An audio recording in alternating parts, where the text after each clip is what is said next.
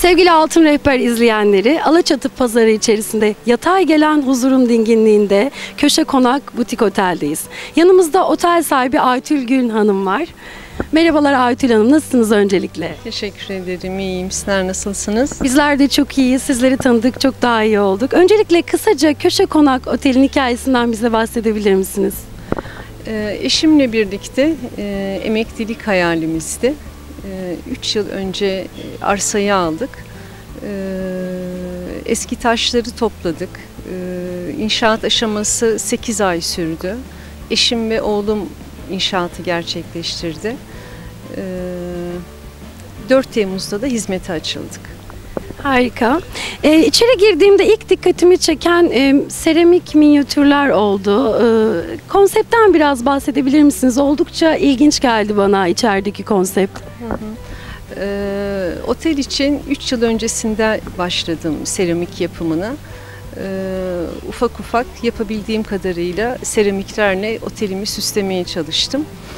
Ee, konseptim e, doğal malzemeleri seçmeye çalıştık. Ee, içeride e, dingin ve huzurlu bir ortam yakalamaya çalıştım. Ee, gelen konuklarım da e, bu dinginlikten e, hoşnut olduklarını söylüyorlar. E, şu anda o dinginliği hissetmemek mümkün değil gerçekten.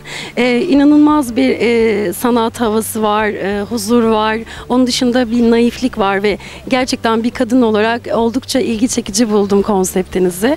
E, doğal e, bir konsept derken mesela ne tür malzemeler tercih ettiniz? Ne tür materyaller kullandınız? Ee, mobilyalarda tamamen doğal ahşabı seçtim. Ee, banyo armatürlerinde e, doğa dostu olan, suyu az kullanan e, materyalleri seçmeye çalıştım. Ee, dediğim gibi yerdeki mermerlerim e, içinde yengeçler, midyeleri e, yansıtan doğal bir taş. Doğal olması için e, ailemle, eşimle ve oğlumla birlikte büyük gayretler içerisinde güzel bir şey ortaya çıkardığıma inanıyorum.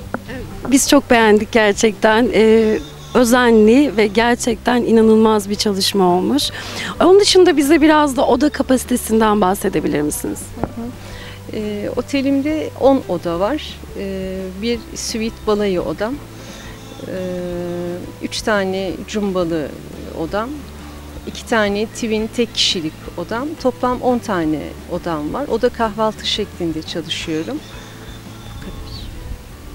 Ee, peki kahvaltılarda e, daha çok organik e, gıdalar mı tercih ediyorsunuz? Tabii otelimi diğer otellerden ayıran bir özellik de e, organik ürünleri konuklarıma veriyor olmam. E, güzel bahçede oturuyorum. Orada küçük bir çiftliğim var. Çiftliğimizde yetiştirdiğimiz sebzeleri, meyveleri e, konuklarıma veriyorum. Ayrıca bir de zeytinliğim var. Zeytinler de kendi zeytinliğimden geliyor. Tamamen e, emek, çaba, aynı zamanda da kişiye özel tasarımlar olan bir yer. E, organik ürünler, onun dışında el, e, sanat çalışmalarınız. E, tebrik ederim sizi bu konuda. E, misafirlerinize ne gibi hizmetler sunuyorsunuz bunlar dışında?